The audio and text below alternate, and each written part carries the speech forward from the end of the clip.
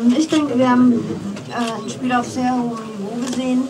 Ähm, aus meiner Sicht oder aus der deutschen Sicht haben wir in den ersten fünf Minuten sehr gut angefangen, haben dann mh, so ein bisschen den Faden verloren, haben uns natürlich selbst zwei Tore reingeschossen. Das äh, ist immer schwierig dann gegen eine starke Mannschaft wie Frankreich äh, da wieder aufzuholen. Aber ich finde, gerade in der zweiten Halbzeit hat unsere Mannschaft äh, sehr große Moral bewiesen, lagen 3-1 hinten und wollten unbedingt das Spiel äh, noch gewinnen und das fand ich einfach toll. Dann musste man auch die Verletzung von Alice Begran verdauen und äh, haben dann sehr viele junge Spielerinnen auch eingewechselt. Unterm Strich äh, sind wir zufrieden mit diesem Unentschieden. Ja, was heißt kleiner Horror? Ich habe einen Fehler gemacht. Aus Fehlern lernt man. Wenn man keine Fehler macht, lernt man auch nichts. Und ähm, aus der Situation habe ich gelernt, dass ich den Ball früher wegschlagen muss, dass ich mir vielleicht nicht so viel hinten rumspielen. Und ja, ähm, fürs nächste Mal werde ich es versuchen, besser zu machen. Und ansonsten denke ich, war die Halbzeit jetzt auch nicht der große Horror am ersten Gegentor. Den schießt ihr nochmal genau in den Winkel. Ich würde es gerne nochmal im Fernsehen sehen, aber ich weiß nicht, ob ich da so viel machen kann. Und ansonsten war ich äh, anspielbar und ich glaube nicht, dass das Schlechteste war, was ich bis jetzt abgeliefert habe. Und in der zweiten Halbzeit ähm, haben wir leider noch ein doofes Gegentor gekriegt. Kann man auch nicht ändern, aber ich würde eher sagen, es äh, von der Mannschaft heute gut war, dass wir zurückgekommen sind. Wir haben nie aufgegeben. Wir hätten noch das 4-3 am Schluss machen können und das sollte man uns heute zugute halten.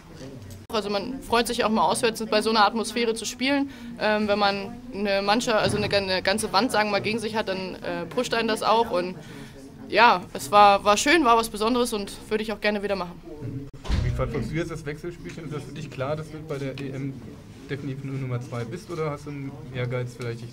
Nein, Nadine hat äh, über 100 Länderspiele, ist die Kapitänin, sie ist klare Nummer 1. Ich bin froh, wenn ich meine Erfahrung sammeln darf. Ich bin froh, wenn ich äh, auf dem Platz spielen darf. Ich bin froh, wenn ich dabei bin bei der EM. Und ich meine, ich bin 22, ich bin jetzt auch gerade so das dritte Jahr dabei und ähm, noch relativ frisch. Und ja, ich freue mich über jedes Vertrauen, das ich bekomme.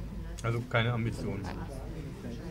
In erster Linie zählt natürlich ähm, ja, das Ergebnis für die Mannschaft. Ähm, wir wollten unbedingt gewinnen und haben uns echt wahnsinnig viel vorgenommen. Ich ähm, denke, wir haben auch echt in den ersten 15 Minuten richtig guten Spiel gefunden und konnten alles genau das umsetzen, was wir ja, besprochen hatten. Ähm, leider haben wir uns dann durch individuelle Fehler einfach selbst geschwächt und ähm, sind so dann ein bisschen verunsichert geworden. Aber ich glaube, wie Almut schon gesagt hat, zeigt das von, von der tollen Moral, dass wir in der zweiten Halbzeit zurückgekommen sind und ähm, nie aufgegeben haben und dann letztlich auch fast das Spiel sogar noch gedreht hätten.